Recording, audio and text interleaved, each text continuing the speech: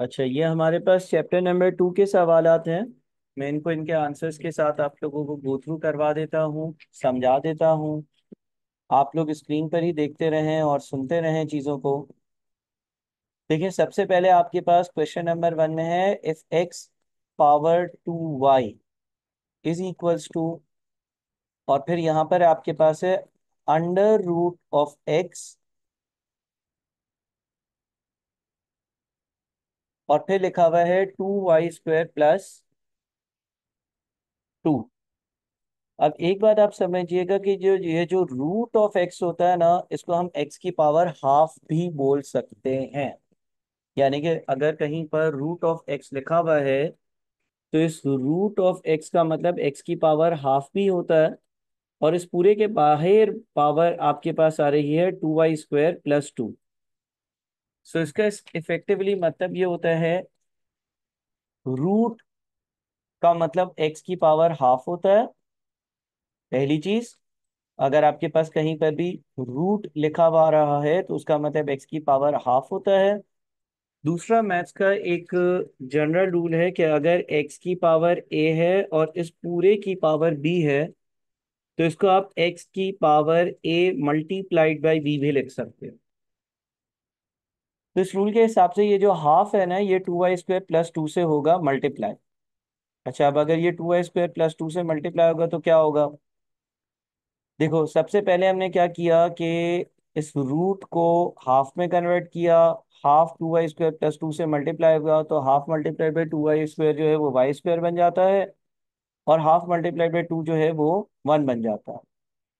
फिर एक और प्रॉपर्टी होती है कि अगर बेसिस सेम हो अगर इक्वल्स टू के लेफ़्ट साइड पर और इक्वल्स टू के राइट साइड पर बेसिस सेम हो तो पावर्स इक्वल होती हैं।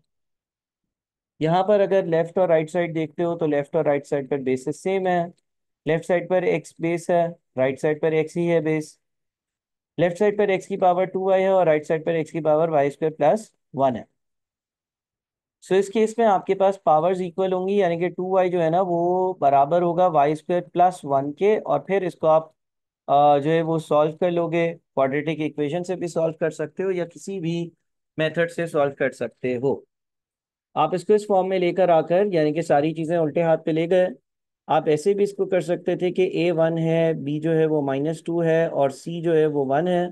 और आप अपना फॉर्मूला अप्लाई कर दो y is equal to minus b plus minus under root b square minus four a c upon two a ठीक है जी? इस फॉर्मूले से आप इसको सॉल्व कर कर कंप्लीट कर सकते हो। मैं पूरा सॉल्व नहीं कर रहा क्योंकि मुझे मालूम है कि जिन बच्चों ने क्वाड्रेटिक इक्वेशन के लेक्चर्स देखे हैं, उनके लिए ये इशारा काफ़ी था और आगे ये सारा सॉल्व करना वो आराम से सॉल्व कर सकते हैं। ठीक है जी? तो पहला सवाल आसान था, जिसके पीछे लॉजिक थी वो मैंने आपसे डिस्कस कर ली। अब आ जाते हैं क्वेश्चन नंबर टू पर। उसने बोला for positive integers x and y इसका मतलब ये हो गया कि एक्स और वाई जो है, वो दोनों पॉजिटिव इंटीजर्स हैं। For positive integers x and y x और वाई दो पॉजिटिव इंटीजर्स हैं। Find all the possible set of values satisfying the following equation आप एक्स और वाई की वो वैल्यूज़ बताओ जो नीचे दिए गए इक्वेशन को सेटिस्फाई करती हैं। ठीक है? अच्छा अब आपके पास नीचे जो इक्वेशन दिया हुआ है, वो दिया हुआ है टू एक्स वाई ब्रैकेट में है एक्स वाई माइनस इलेवन और इधर फोर हंड्रेड एंड ट्वेंटी है।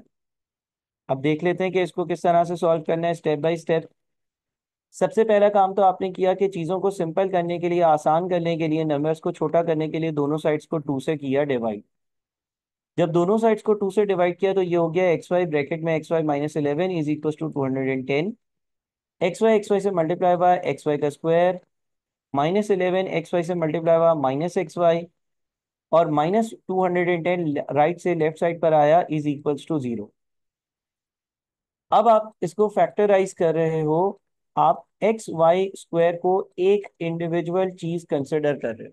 अच्छा यहाँ पर आप इसको ऐसे भी कर सकते थे कि आप इसको एज्यूम कर लो कि z जो है ना वो एक्स वाई के बराबर है तो ये इक्वेशन आपकी बन जाती है z square minus eleven z minus two hundred and ten is equals to zero again quadratic equation के आपने बेसिक अगर जो लेक्चर्स हैं वो देखे हों तो या तो हम फॉर्मूला अप्लाई कर सकते हैं, या फिर एक और तरीका होता था कि हम मिड टर्म को ब्रेक करें।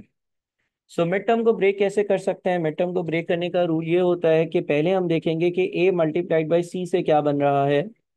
यहाँ पर आपके पास ए जो है वो वन है और सी जो है वो minus two hundred and ten है तो ये minus two hundred and ten बन रहा है।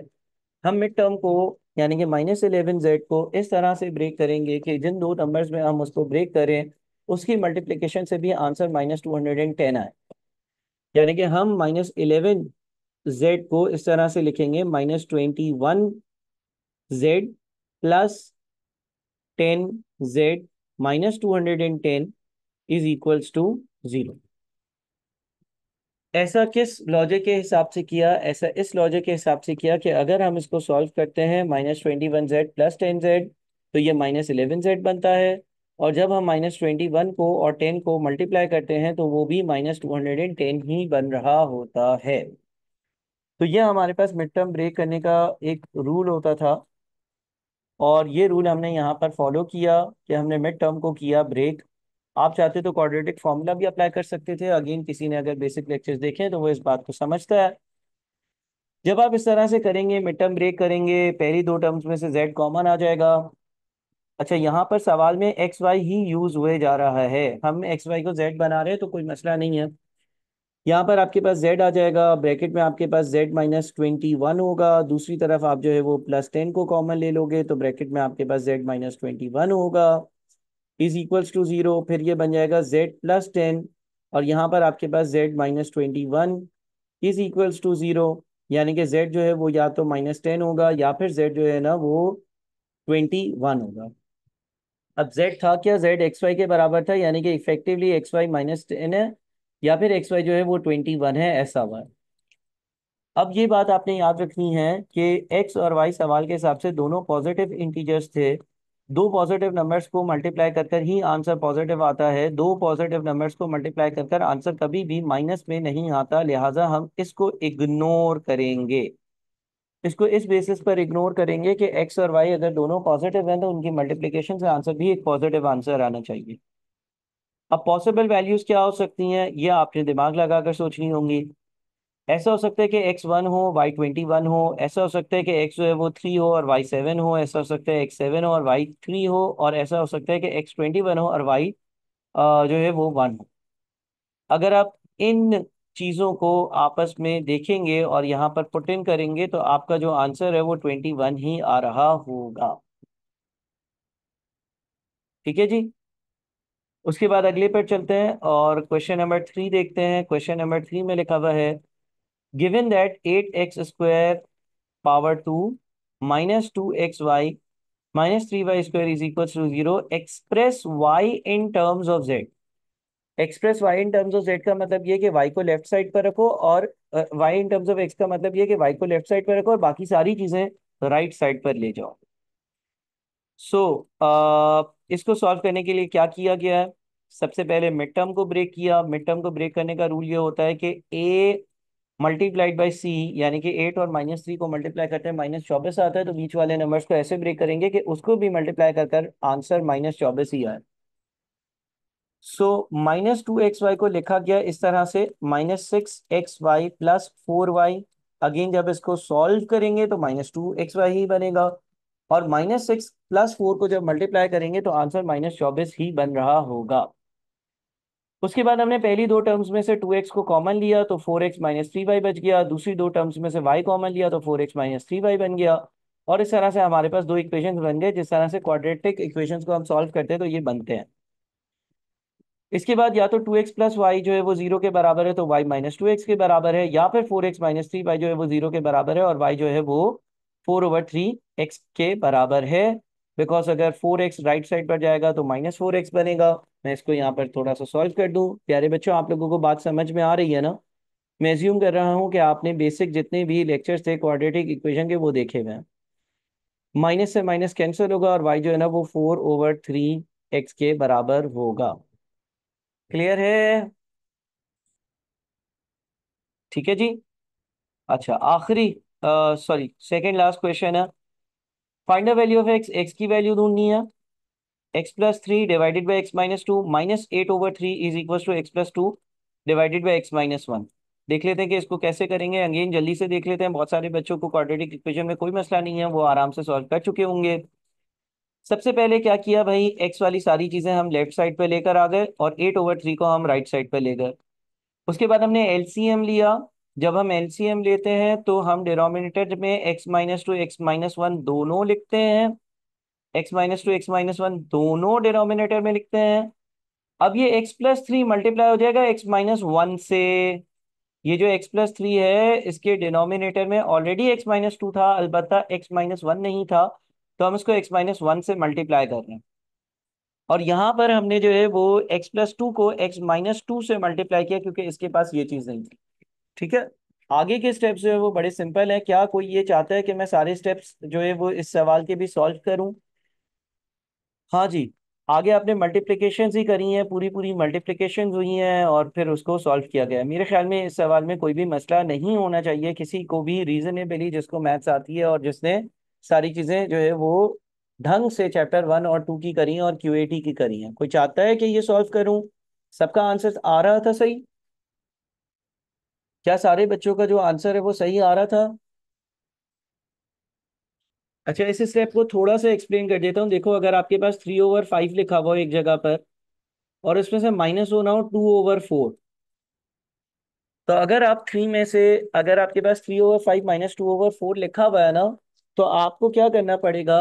आपको करना ये पड़ेगा कि एक कॉमन डिनोमिनेटर चाहिए होगा। उसके लिए आप थ्री ओवर फाइव को फोर ओवर फोर से मल्टीप्लाई कर दें, और टू ओवर फोर को जो है ना वो फाइव ओवर फाइव से मल्टीप्लाई कर दें।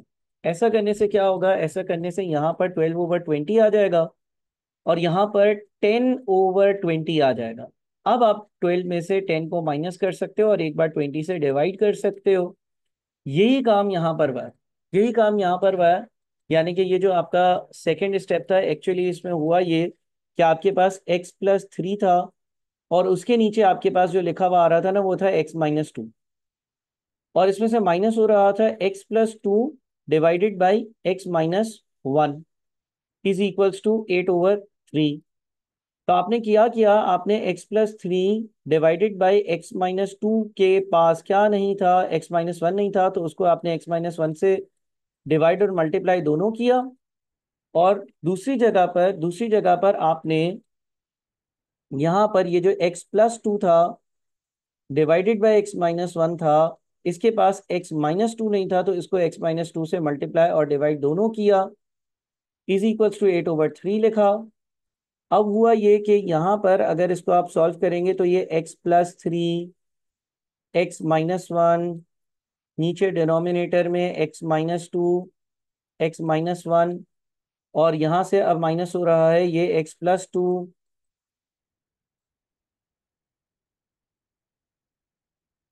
multiplied by x minus two divided by नीचे आपके पास x minus one x minus two is equals to eight divided by three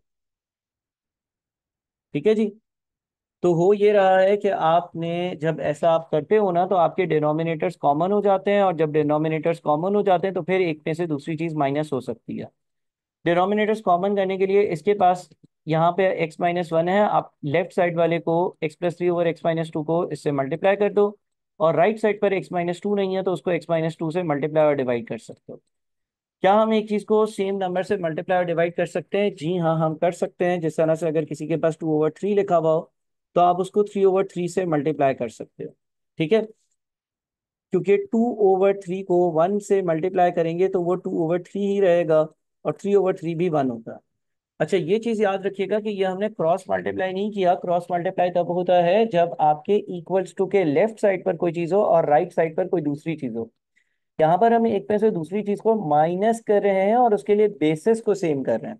cross multiply करना है एक डिफरेंट चीज़ है।